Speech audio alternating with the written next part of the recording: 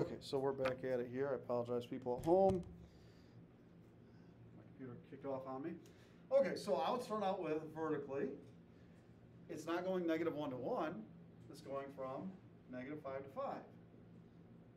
But it really isn't going negative five to five. We have to subtract three to each of these. So we do that vertically, it goes from negative eight to positive two. Now let's do the new part. The new part has this 4 right here. Horizontally, goes from 0 to 2 pi normally. Normally goes 0 to 2 pi, but what are we going to do?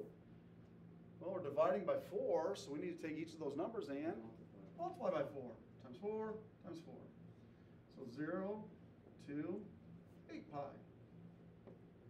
Okay? Horizontally goes from 0 to 8 pi.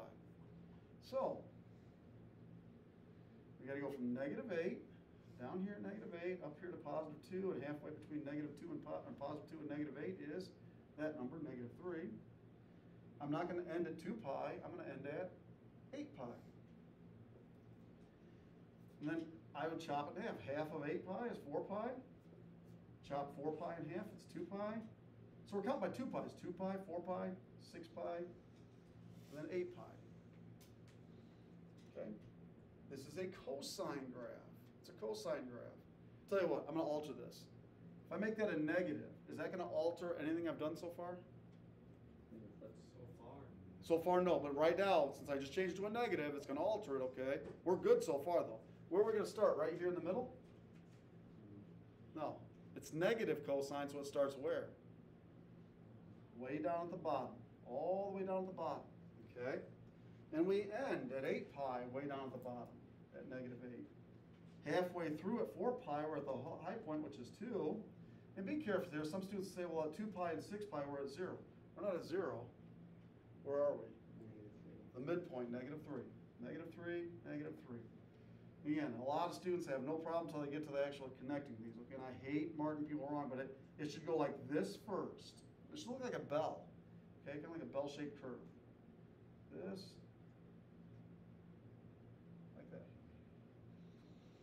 That's it.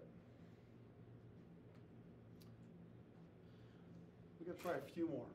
we got to make it a little bit tougher one. How about y equals, um, let's do 3 cosecant of theta over 5 minus 2.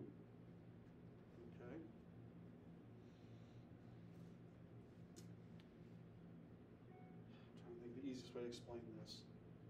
Again, this, this just has to do with fractions. I'm gonna show you guys a way of doing it. Then I'm gonna show you a shortcut that you don't need to know. Some, and actually, I never figured it out. A student told me once, they said, hey, can't you just do this, Mr. Kevin? I was like, oh, that's a good idea. Okay, so I'm gonna share it with you. I'll do it the way that I usually do it, and then I'll show you the way that a student showed me once. So I would put down vertically, and actually cosecant, I'm gonna put sine underneath it. We're gonna do a sine graph first. It goes from negative three to three. Then we still have to subtract two to each other. So negative five to one. Okay. Horizontally, zero to two pi, but we're gonna multiply each of these by five. Times five, times five. So horizontally, it goes from zero to ten pi.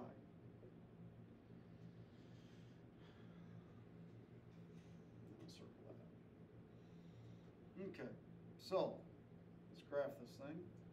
We're going from negative 5 to positive 1. Halfway through is negative 2. Here's 10 pi. Half of 10 pi is 5 pi. Now, if you're working ahead, you want to stop for a second here, okay? And here's why. You might be going, well, between 0 and 5 pi is 2.5 pi. 2.5 pi. You're not wrong, but that's not the way. When you're writing your radians, they're fractions, not decimals, okay? And I hate to be mean, but I'm gonna mark you wrong. If you were to put 2.5 pi, I'd take a point off. It's only a point, but I would, I would take it off, okay? So, here's what we need to do, okay? If I, we're just gonna cut, we, we took 10, we cut it in half.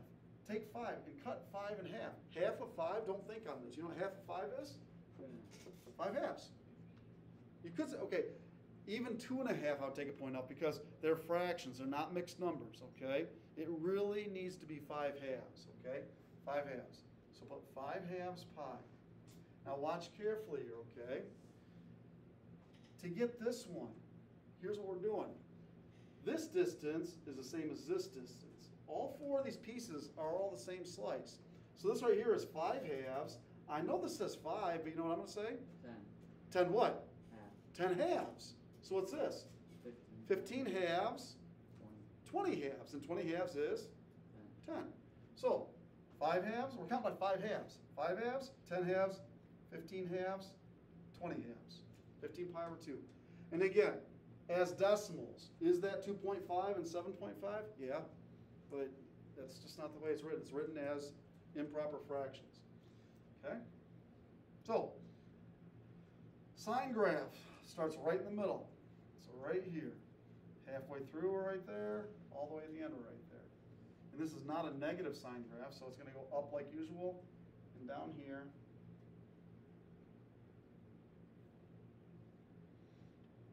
Looks like that. Any question on that one? Oh, somebody say it.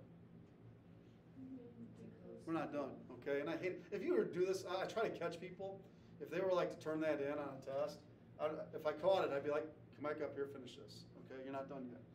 Okay, so we need asymptotes at zero and five pi and ten pi. Have it go away from the graph. Sort of like that. Oh, one more thing. I don't know if I told you this or not. Then should I erase the sine graph? No. You could, but geez, please don't. It's easier for me to correct it if I can see the sine graph. I just leave it there. Okay, it's more work for you and it's easier for me if it's there. So just leave it there. Okay, let's get even yuckier fractions up here. So far we haven't had hardly any fractions except for that, and that wasn't that bad of fractions. How about y equals cosine of eight theta? This one's a little different, okay? This one's a little different because, because why? I mean, how does this one look, I mean, compared to all the other ones we've done so far? All the other ones, we have theta This- over something. This one's just. This is theta times, and what would you think? You're timesing by eight, you'd think it'd do what horizontally? You think it would stretch it or shrink it? Stretch. You'd think it'd stretch it, because you're timesing by eight, it's actually gonna shrink it by a factor of eight, okay? Now, before we even start this, okay, put this question on hold for a second here, okay? We gotta go back to middle school. If I asked you to do this without a calculator, how do you do two-thirds divided by four-fifths without a calculator? What do I- With the second one. what do I do to the first one? Nothing. Nothing. What do I do with this? Flip. Well, what do I do with Make this? it. Multiply. Okay, so what you've learned is division is the same as what? Multiplying by what? Ah, Not opposite, reciprocal. reciprocal, okay? That's what division is. You guys always took division problems and made them into multiplication problems. Uh, Why did you do that? That is easier. It's easier. That's the only reason, because it's easier. You made division problems into times problems. Well, what did I say about 10 minutes ago? You always want to have theta over something. You want to have it as, you actually want it to be So division. we're gonna make this. So what is, if division is the same as multiplying by the reciprocal, what is multiplication? Dividing. Dividing by the reciprocal. It's the same thing as dividing by the reciprocal. Normally, you guys made division problems into times problems because it's easier. I totally agree. Okay? We're gonna make times problems into division problems because that's what it, the, it's easier to have theta divided by something in order to do this, okay? It's be theta divided by negative eight. Not negative, quit saying opposite. Quit thinking opposite. Get opposite out of your head. Okay? Reciprocal of eight. What's a reciprocal? Make eight a fraction. Oh, it's gonna be one eight. Right, so let's write it as the cosine of theta over one eighth. Okay? If it's not written as theta over something, write it as theta over something, okay? Over the reciprocal. Okay? I'm not gonna write vertically on this one, because it's going from one to negative one. I mean, if you really want to, you can, but it's, it's going, the only thing that's happening here is because of this one eight. Horizontally, it goes from zero to two pi normally. But what are we gonna do? Nothing's changed here. Multiple, Multiply by what? one eight. One eighth, not eight, one eighth. Okay, it's theta over, when it was a four right here, we divide, we times by four. When it was a six here, we times by six. It's one eighth and times by one eighth. Times one eighth, times one eighth. So horizontally, it goes from zero to one eighth times two is two eighths, which is one fourth, pi over four. Two times one eighth is two eighths. Two eighths is one fourth. Okay, so we have pi over four. I don't know if I've said this this year, I know I've said it in the past though. What does of mean in mathematics? The word of. If I say find three fourths of five ninths, what do you do? Times. Of means times. So we want half of one fourth. What's half of one fourth? What's one half times? Pi over eight. So pi over four times one half is pi over eight. Okay, let's, what's half of pi over eight? Pi over sixteen, so we're counting by sixteenths. Okay? So what's gonna go right here? Not pi over, counting by sixteenths. This is one sixteenth, it's not what it says here, but this is actually two sixteenths, Sixteen. three sixteenths, Four sixteen. four sixteenths, which is one fourth. Three sixteenths, three pi over sixteen. All we're doing is counting to four. One sixteenth, two sixteenths, three sixteenths, four sixteenths. Again, I wanna make sure we haven't lost anybody here. I had pi over four, I cut that in half, times by half, that's pi over eight. Cut that in half, it's pi over 16. We're going by 16th. 1 16th, 2 16th, 3 16th, 4 16 Cosine wave starts at the high point, unless it's flipped. Halfway through or all the way down here. At the end, we're up here at pi over 16, and 3 pi over 16, we're at 0.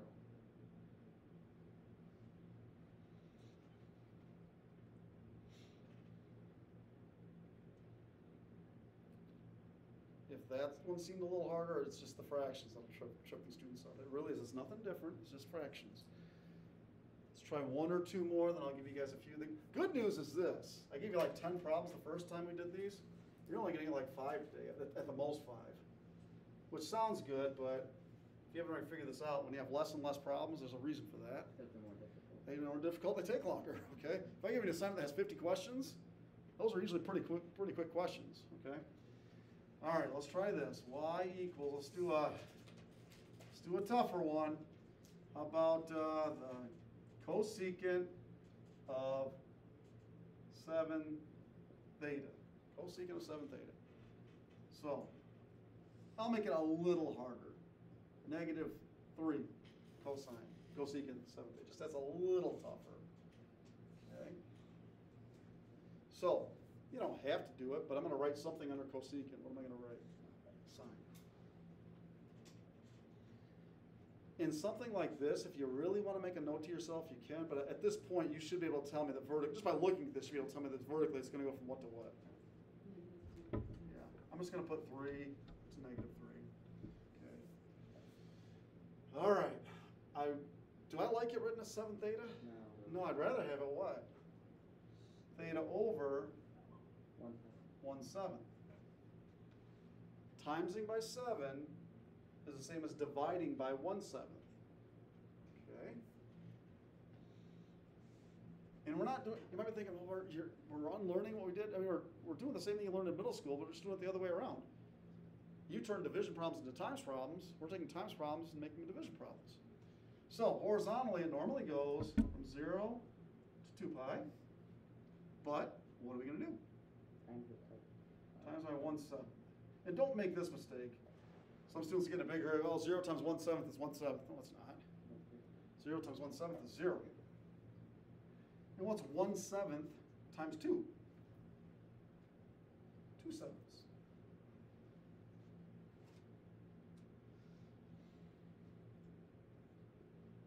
So we're going from zero to two pi over seven. Okay?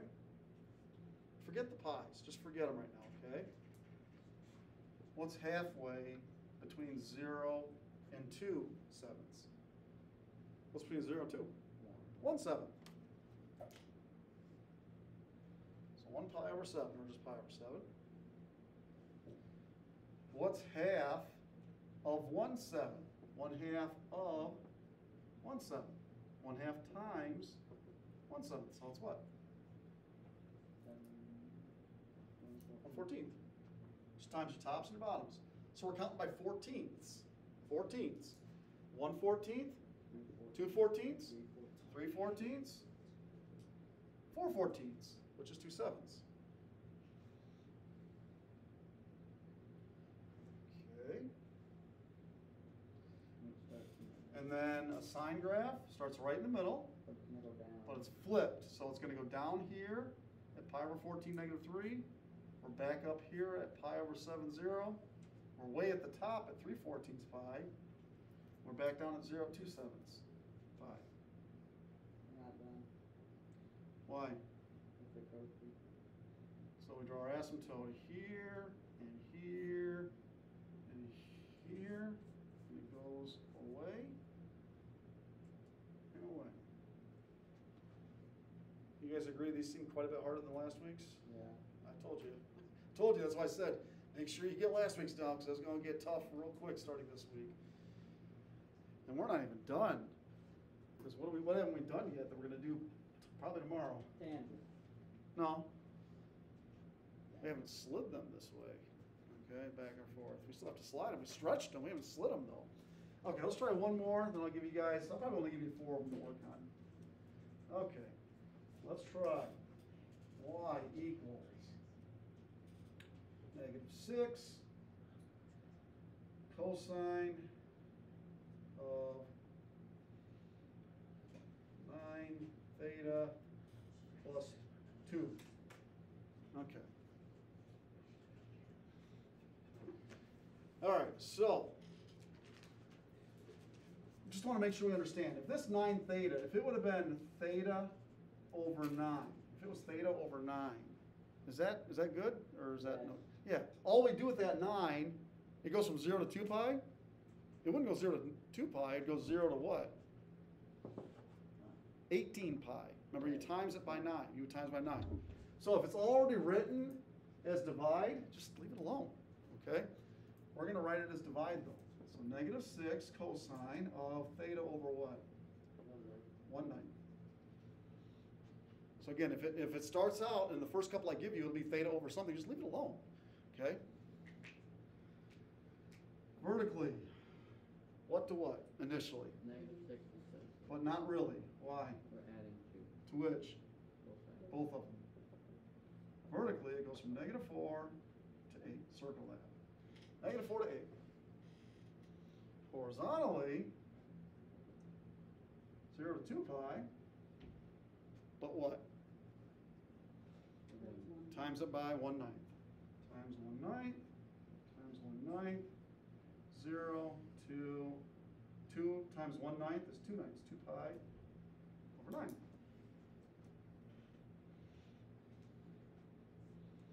If I got rid of this negative right here, would I have to alter anything that I've done so far?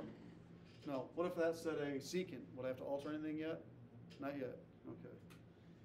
All right, I'm not gonna change it though. So we have eight, negative four, and half between eight and negative four is two. Okay, am I gonna put two pi right here? No. No, I'm gonna put what? Where are we ending at? Two pi over nine. Ignore the pi. Just ignore it. What's half of two ninths? One ninth, so pi over nine.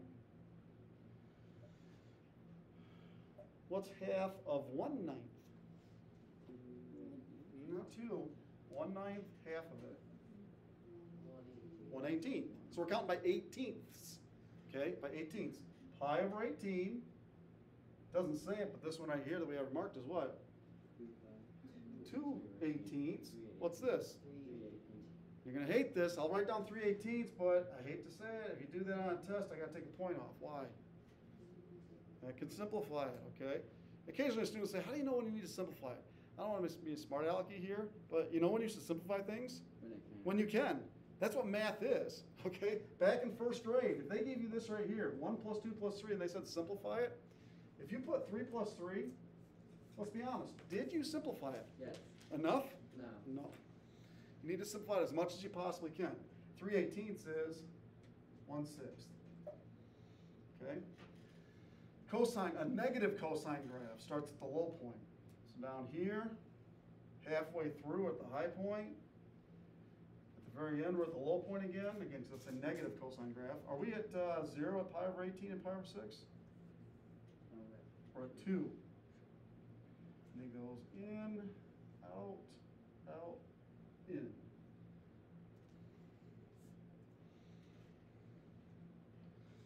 These are not easy, not easy. That's why you're only gonna get four of them, okay? Let me give you four questions to do. What we're gonna do also is this, still going good. Um, very likely tomorrow, I am gonna introduce to you guys sliding them, which is even harder yet. Okay, that's as hard as it's gonna get though. Okay, that's as tough as it's gonna get. Uh, I don't wanna scare you, but uh, I also wanna let you know about it. Um, you'll probably have a little bit of, a little bit of time to work on this tomorrow if you don't, cause I don't think you're gonna, you're not gonna get these four problems done before the hour's up. And there's nothing wrong with doing it at home for homework. Homework's nothing wrong with that. Um, but if you're just like, ah, I'll just do it tomorrow, we're, we're, we're gonna cover new material tomorrow also. Um, you know, you won't have a whole lot of time to work on these, so. I wanna make sure you at least understand how to do these, cause if you don't understand how to do these, you're like, ah, whatever, I ain't gonna do anything the rest of the day, then you come back here tomorrow, you know, you might be even more confused. So, four problems to do. Let's label this section 2-4 horizontal stretches. I say stretches, it could have been shrinks, but stretches, shrinks, whatever. Just four of them to do.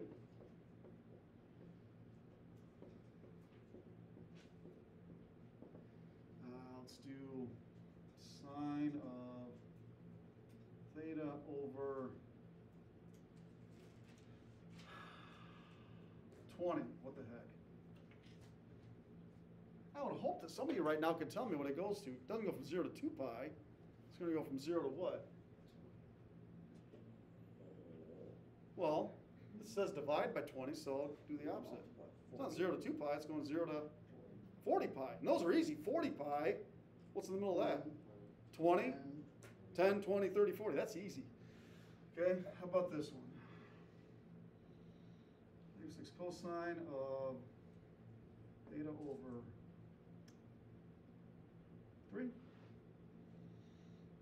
sines and cosines, what the heck. Uh, let's do negative 5 sine of 8, I already did 8. Let's do it uh, 12 theta plus 2 and 7